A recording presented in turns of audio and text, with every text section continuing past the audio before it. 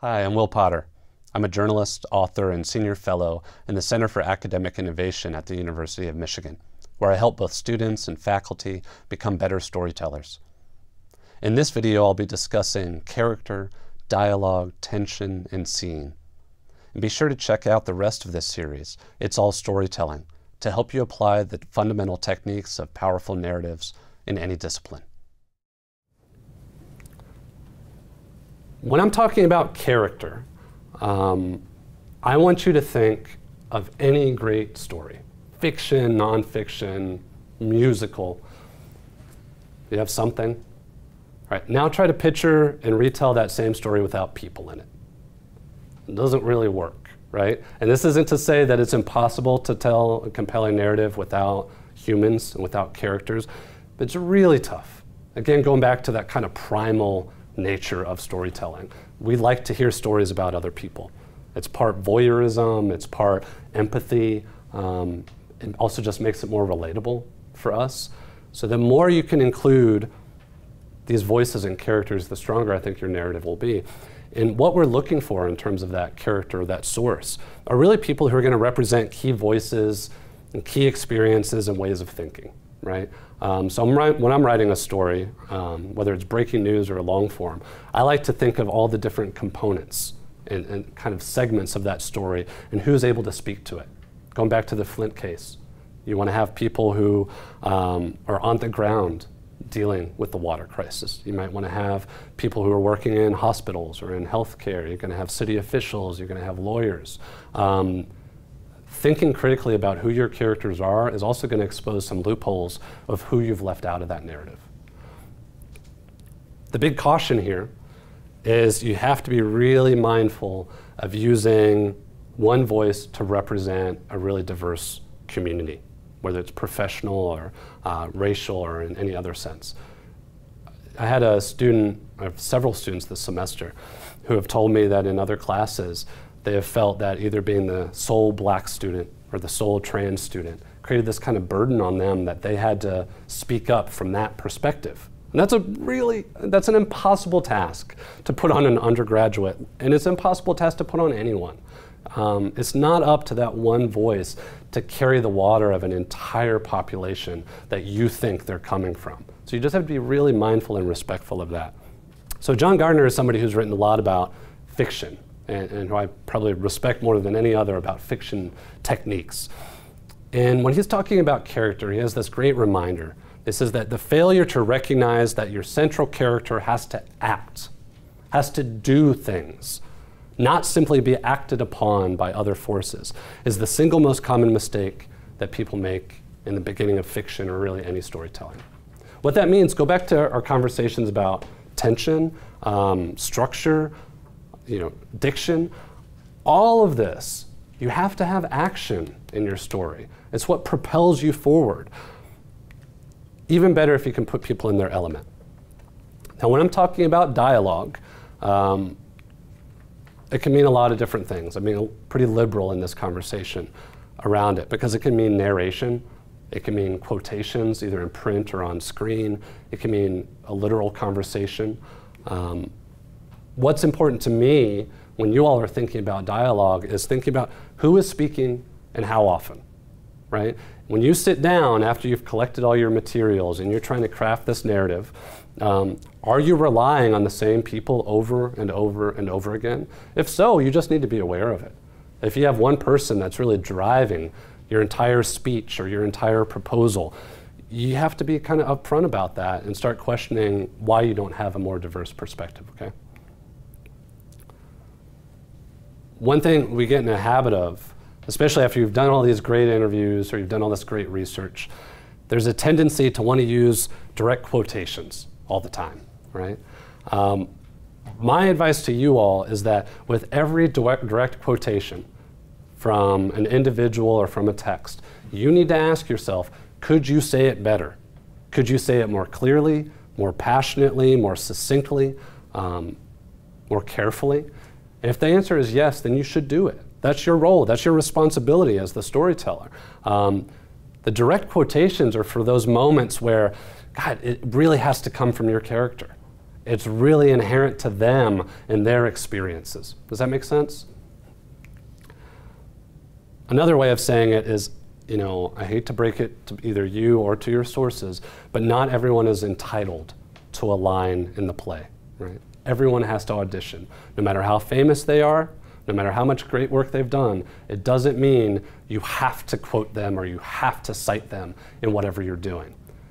Again, it's going to go back to you as the storyteller. Does this move your narrative forward? And you're going to have to be kind of brutal with this in the editing stage. Tension is what moves the narrative forward. It's not just conflict. It's not just you know thinking about Fox News or uh, MSNBC or whatever, people just yelling at each other. That's not tension. That's fighting. Okay, and that's cheap. um, that's not narrative tension. Narrative tension is energy, it's movement, it's kind of the difference between what your audience knows and what they want to know, what they think is coming. Um, it could be tension of what your, the situation your character is in at the moment. I want you all to think about tension as nuance, not as sensationalism. Um, there's this beautiful line from um, Erik Larson where he's talking about in one of his books. He says, The tension was subtle, a vibration like the inaudible cry of overstressed steel. And I think that's just a wonderful lyrical way of describing that kind of a nuance. You don't want like reality TV, where I, of course, have never watched such a thing, but if I had, I would know that, you know, they lure you along for that full hour. And every step of the way, you know, journalists do this all the time too, of stay tuned, you'll never know what, you, you won't guess what happens next after the break. Or uh, on local news broadcasts, you'll see it as like, will these 10 household items you have in your pantry cause cancer? Stay with us. And it's like, no, tell me. You have to tell me right now. Um, but it, these are cheap hooks. That's not real tension. I mean, that's a lazy way out of this. Um, instead, I want you to think about building tension through a few technical ways. You can have changes in perspective. You can talk about changes in the actual content and what you're talking about. Um, you know, to leave off one stage of the narrative as incomplete and then go into background about a different thing you're investigating. Um, the setting is also a really nice way to do so the most powerful example I've ever seen about this, of using point of view and setting to increase tension. There's a documentary that was filmed in 360 immersive video um, that had set up at TED one year. And it was all filmed in a refugee camp. So right, right out of the gate, you have some tension because of the setting, right? It's different than anything most of us have experienced.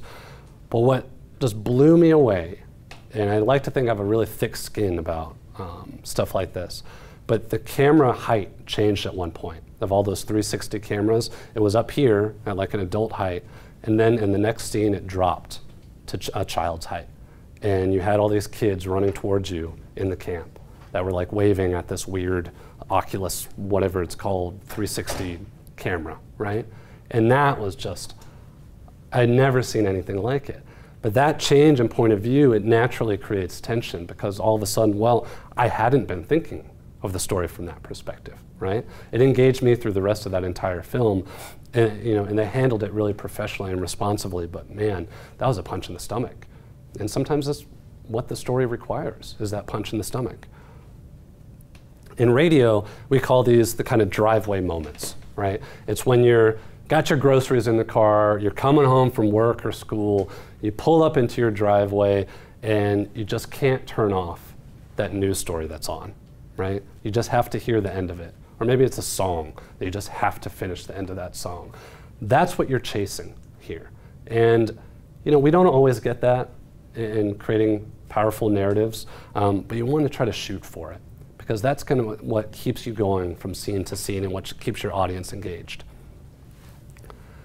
When I say scene, I am not talking about whether, for instance, uh, you're interviewing a faculty member in their office or in a conference room, right? That's not a change in scene. By scene, I'm talking about something more than backdrop. I'm talking about you have to place your character in it, in their space. That makes them kind of come alive, right? If it's, again, it's a scientist, put them in their laboratory. If it's an explorer, they have to be out in the field. If it's a conservationist, why are we not seeing them in that space observing the natural world? Does that make sense? When you put characters in their scene, they kind of, um, I always think of those little toys that are like a, a, a, sponge and you have to add water and then it turns into something else. That's what happens with your characters, right? They fill that space because it's natural to them in news, we do this all the time. The easiest way to think about it is the kind of meteorologist in the storm. There is no reason that the meteorologist has to be there kind of blown away by the storm to tell you what's going on, right? There's no reason. They could be in the van, they could be in the newsroom. The reason that they're there is because it automatically engages you, right? You kind of become sympathetic to what they're doing, it's exciting. And that's what place and setting do to a story. And finally, it really affects your point of view.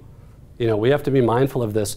That Flint, Michigan story about the water, water crisis will be very, very different if you're going to Flint and you're living there and you're reporting the story from there versus you're filing a story from New York City. There is no comparison.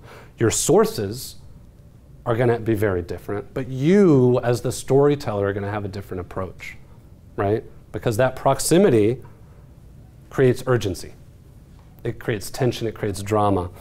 And the greater distance we have, that really allows for more reflection, for analysis. Does that make sense? It's kind of a, you know, it, it, can vary, but I think that's a good rule to go by. That if you want urgency, you have to get really close to the material.